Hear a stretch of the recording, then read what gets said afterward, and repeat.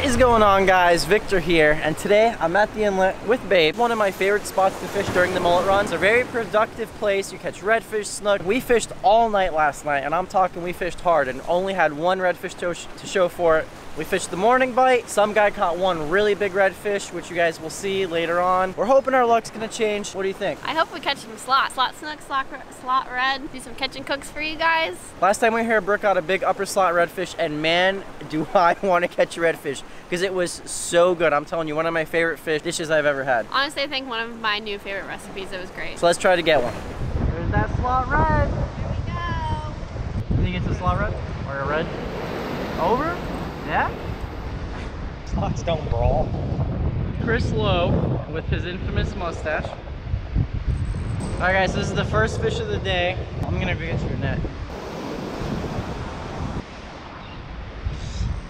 Are you kidding me? Yeah, what happened, Chris? Oh boy, you're gonna lose them in the piling? Funny looking redfish, I'd oh, say. That's a big red.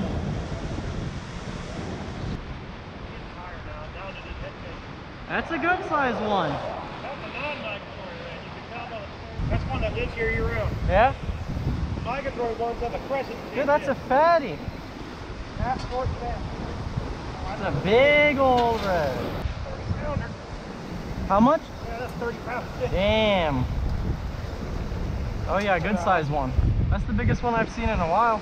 Yeah, that's a bro. Okay, maybe. Woo! Okay, at least my net's getting some action. You want a picture of it or anything, or just let it go? Shh, not that long. Dude. Just think Oh, fat. Real fat. I love it. He's so short though. That is. So what are you saying? That the square tail? Yeah, they got a squared off edge. It's a non-migratory fish. The migratory ones have more of a crescent shape to it. And they're longer and leaner. Fish looks like it came out of a lagoon. It's pretty bright too. Our buddy over here has got himself a seaweed monster. Can't flip it, so we gotta net it. Oh yeah, it weighs a lot. Oh, we got the seaweed monster! Catch of the day! You know what, I gotta say, that's probably the biggest clump of seaweed I've seen anyone ever catch. You're wearing the merch, so make me proud. Don't make us look bad. Thrown into the wind with a net ruined by Jesse. That guy just netted some.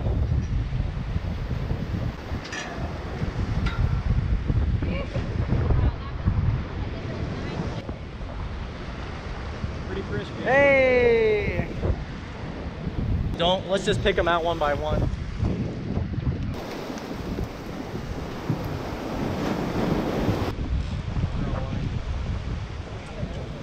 I guess when it's red like this, it's a keeper, right? That is cool. That is nice. Hold on, let me get in there with you. Here, come. Get the line over here. Real. Line. Oh, look what it's doing. Oh, no. Oh, you got to start it. Fly back. Get him, Dave.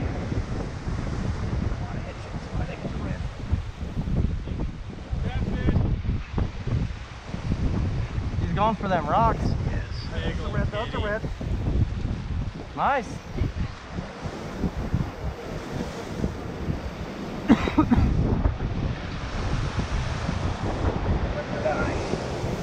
Flipping? Great. Get it, get it, get it. It's a pretty orange one too. Yeah, he is. Hail.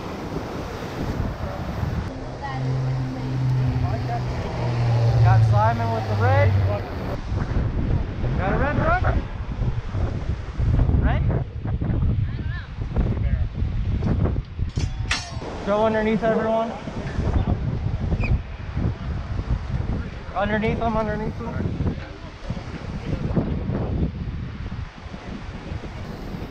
You let her under? Let her under?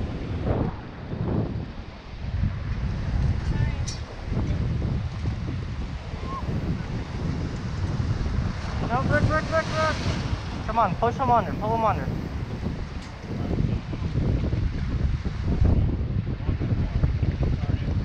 There you go. Good going. Good job. Fish on the hatch, Yeah, probably.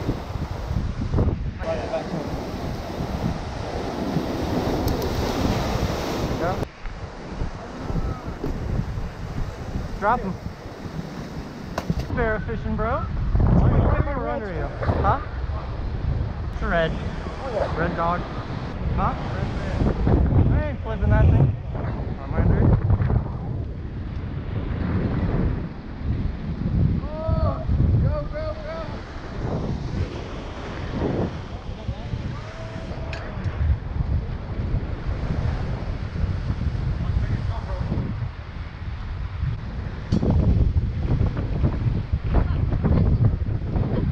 It still works.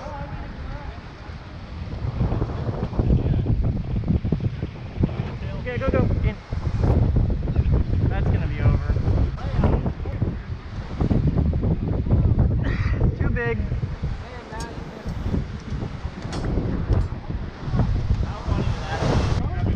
Right in the Thank God corner. it's red. Like the same size as mine, like just over. Let's measure it. Let's see. Over. Oh yeah, I know. I just want to see. 28. 28. 28. Huh.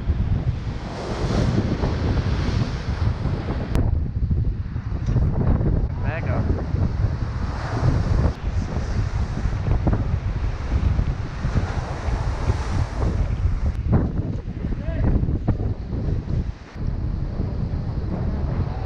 Slob. Yeah, it's a good one. This way. We got those people right there. Good.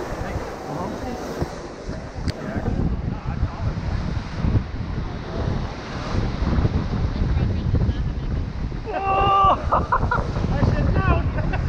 Hey, that thing, that thing's not really in there. You flipped one that big. Shark had his day. Or a Jewy. You got of meat hanging off on the backside. Look at that thing. This guy's been hurt. Yeah.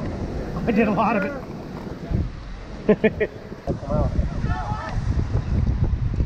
Oh, I got it. This one's getting shut back to the shot off. Watch the rod.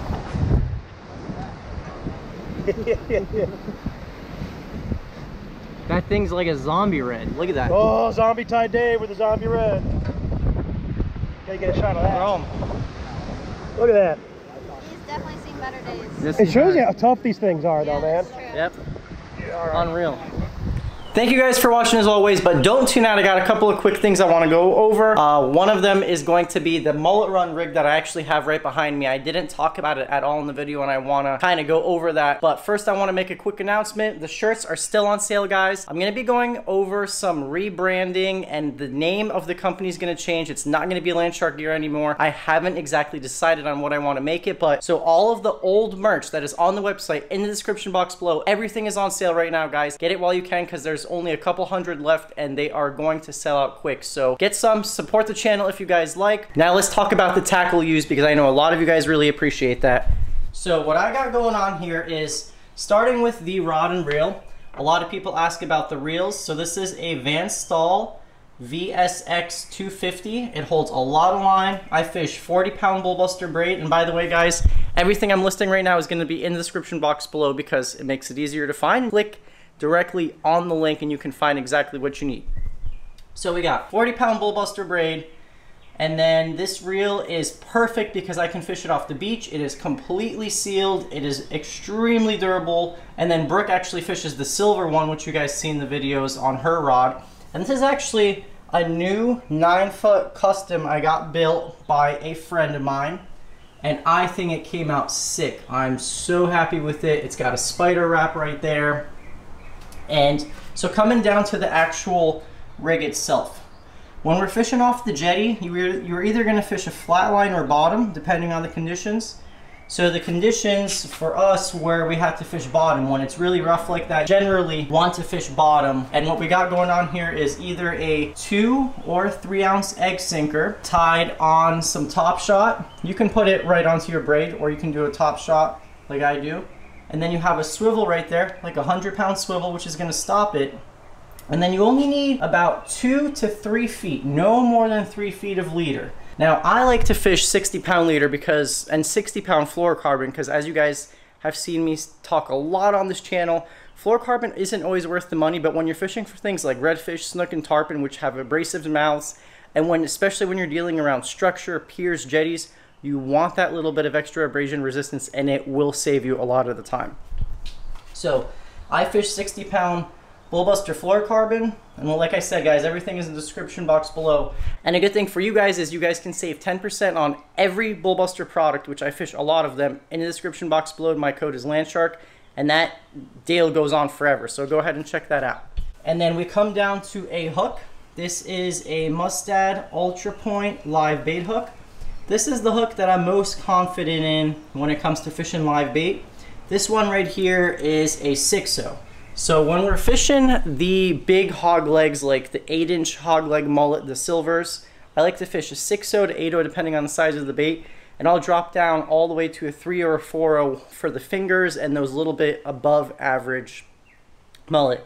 And so like, you know, you guys always ask me, what size hook, what size this? It always comes down to the size of your bait. Always, always, always. So always match the hook to the size of your bait. I will link those hooks in the description box below. They're relatively cheap. They don't corrode a lot and I've had a lot of success with them. So yeah, I hope that little tidbit of tackle helped you guys. Look forward to more mullet run videos, Sebastian Inlet videos, and just a lot of things to come to the channel. Thank you guys for watching as always, and I'll be seeing all you guys, my land sharks, in that next video.